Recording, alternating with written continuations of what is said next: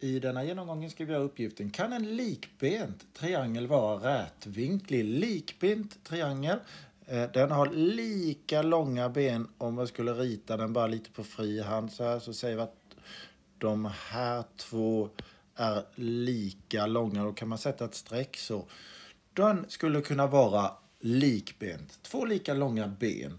Och i en likbent triangel vara rätvinklig, då måste en vinkel vara 90 grader för att det ska vara rätvinkligt. Och vinkelsumman i en triangel är alltid lika med 180 grader. Det vill säga om en vinkel måste vara 90, ja då har vi 180 grader minus 90 grader, det vill säga då har vi 90 grader kvar att fördela på de andra två vinklarna här.